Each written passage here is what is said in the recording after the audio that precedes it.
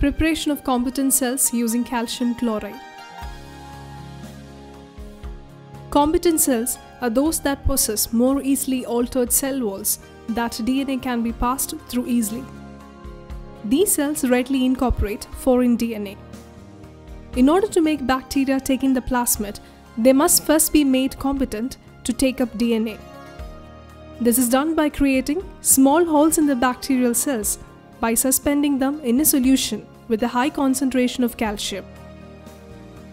Materials required LB broth, culture plates, ice cold calcium chloride solution, ice cold magnesium chloride calcium chloride solution, shaking incubator, centrifuge, inoculation loop, microfuge tubes, polypropylene tubes, pipettes, tips.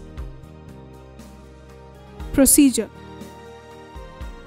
Take an inoculation loop, flame it till red hot, and allow to cool for some time. Pick a single bacterial colony from a plate and transfer the colony into 10 ml LB broth.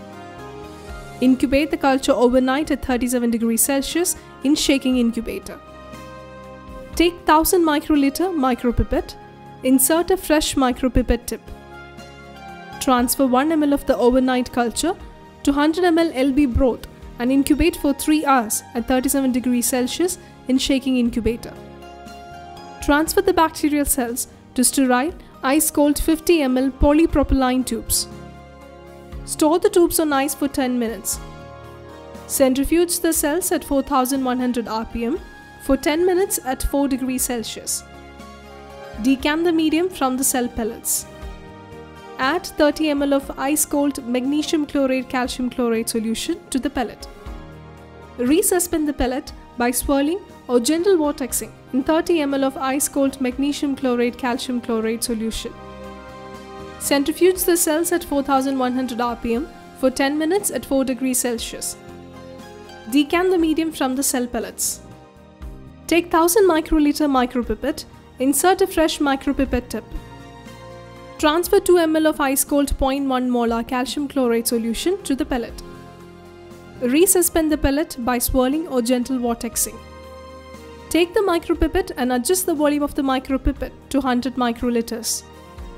Aliquot 100 microliters of cells into each vial kept in ice. Results Thus, competent cells were prepared using calcium chlorate method. You can use the cells directly for transformation or freeze at minus 70 degrees Celsius.